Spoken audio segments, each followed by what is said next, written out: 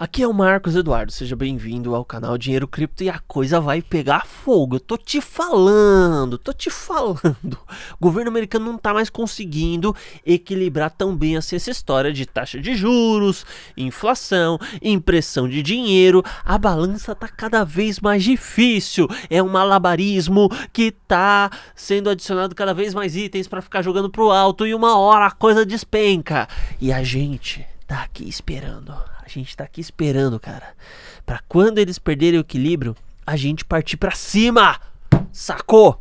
Então vamos explicar essa história para ficar bem claro aqui para todo mundo. Eu vou te convidar a se inscrever nesse canal, ativa o sino das notificações para para você ficar sempre por dentro de tudo que acontece no mercado das criptomoedas. É, deixa o like nesse vídeo, assim você me ajuda bastante. Por favor, se você está assistindo, aperta esse like aí para me ajudar, rapaz. É, é para comprar alimento. É, e o, o, o, segundo link na descrição é referente ao robô de operações que eu utilizo. Se quiser dar aquela potencializada, chablau. Então, dito isso, então, é, potencializada nos seus lucros, né? Potencializada no que? Na vida sexual? Não, é na vida financeira. Tendo dito isso, então vamos aí. Eu vou compartilhar aqui a matéria do Cointelegraph, tá? Então a inflação nos Estados Unidos vai desencadear massacre do dólar. Bom, primeiro, não vai ser bem assim. Não vai ser bem assim. Não, não, não vai ser um massacre do dólar. Vai ser algo gradativo. Porque se fala assim, ah, é um massacre, parece que dia 12, pau, o dólar vai despencar, Bitcoin vai a um milhão de. Hum, calma. Vai acontecer isso, mas de uma maneira mais gradativa, tá? Não é um negócio objetivo assim. Mas, olha só. É, no que deve ser uma semana importante no que diz respeito à divulgação dos dados macroeconômicos, a impressão do Índice de Preços ao Consumidor, a CPI, dos Estados Unidos para o mês de março será anunciado no dia 12 de abril, juntamente com novas informações sobre a política do Banco Central dos Estados Unidos, Federal Reserve. Adicione a isso a atualização Xangai da Ethereum e temos uma receita para o retorno da volatilidade ao, no curto prazo.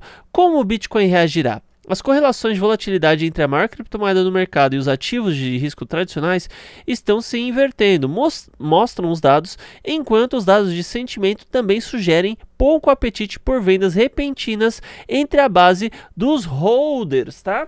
Então, qual é a ideia? Governo norte-americano, ah, a gente aí passou pelo Covid-19, então vamos fazer o seguinte: vamos gerar emprego? Não! Vamos aí uh, melhorar a possibilidade para as pessoas investirem? Não!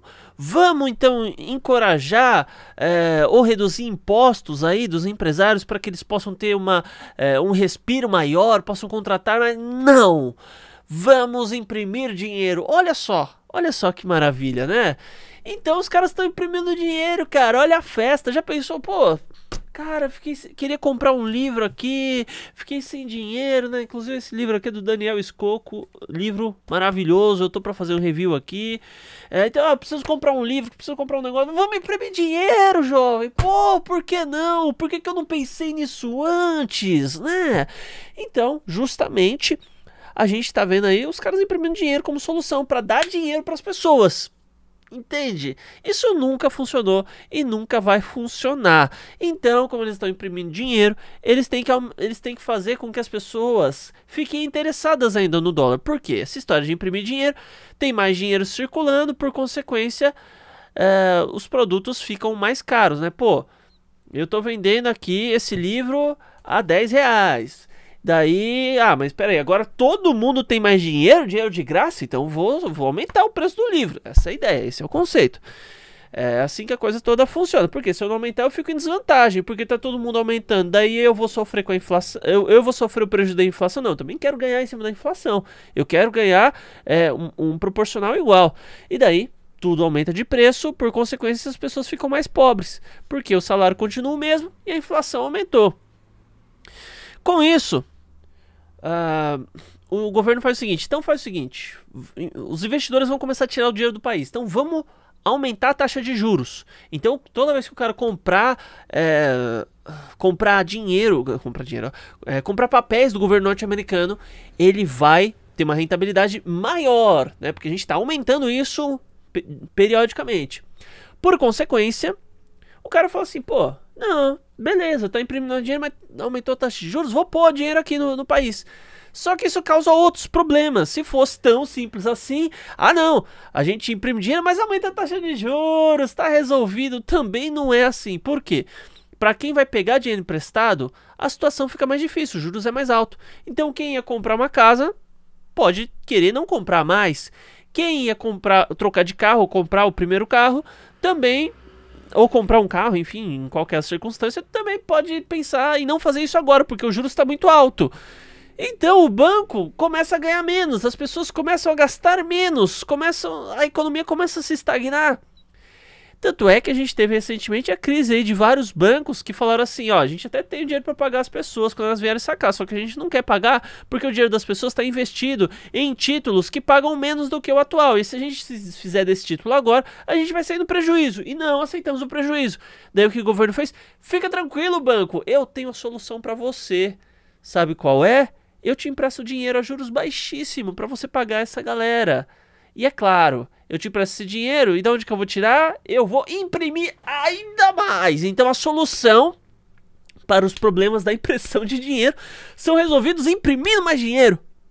Entende que essa história começa a ter sérios problemas, as coisas não estão mais se encaixando e tá cada vez mais difícil equilibrar toda essa situação. tá difícil, tá muito difícil. Então, por conta disso, a gente vê que o dólar pode estar diante aí de uma grande crise. E se, se o dólar tá mal, a ideia é começar a investir em outros ativos, como por exemplo Bitcoin e criptomoedas. E daí, se você pega, por exemplo, meio por cento da galera que investe em dólar, ou que tem dólar, meio por cento só. Galera, comprar Bitcoin Cara, Bitcoin vai para 100 mil dólares fácil, fácil, fácil, fácil, fácil, fácil. 100 mil dólares assim é brincadeira de criança. Se meio por cento dos Estados Unidos entrar no Bitcoin, tá bom? Então, estamos diante de uma oportunidade muito grande. Eu sei que está difícil para todo mundo que trabalha com criptomoeda. E, e você que trabalha com cripto e fala: ah, tá, tranquilo, tá tranquilo, cara. Eu sei, eu sei. Eu converso com o pessoal do meio. Eu converso com os youtubers. Sabe aquele youtuber que tá lá sorrindo? Não, vamos comprar, vamos comprar no, no grupo de WhatsApp. Ele tá chorando. Quando você liga lá, e aí fulano, beleza, ó, que apertou, mas estamos levando ele boba, aqui tá apertou também, tá difícil, não sei o que. Tá todo mundo assim, meu amigo. As empresas cripto não estão querendo mais gastar dinheiro, não estão querendo patrocinar, não estão querendo, né? Tá, tá cada vez mais difícil, tá cada vez mais difícil. Uma alta pode fazer tudo voltar como antes e pode fazer a situação ainda melhorar bastante. Só que só vai se dar bem quem conseguir segurar essa fase, né? E você está conseguindo segurar? Coloque aí nos comentários. A oportunidade é muito grande e a dificuldade também é grande.